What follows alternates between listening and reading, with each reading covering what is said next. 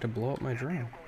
Kayla, watch out. There's a thorn that's going to blow up the Goyo. Sprint past it.